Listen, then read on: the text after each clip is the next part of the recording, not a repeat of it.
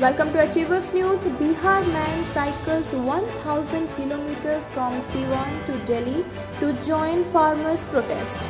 As the farmers' protest in Delhi enters the 23rd day, more farmers are joining the agitation against the centre's three contentious farm laws.